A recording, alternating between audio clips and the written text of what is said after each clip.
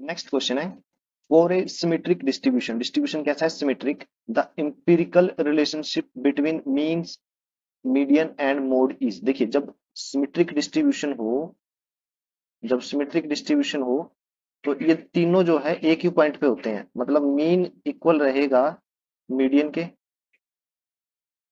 और फिर वो किसके इक्वल रहेगा? मोड के। तीनों इक्वल होते हैं, ठीक है?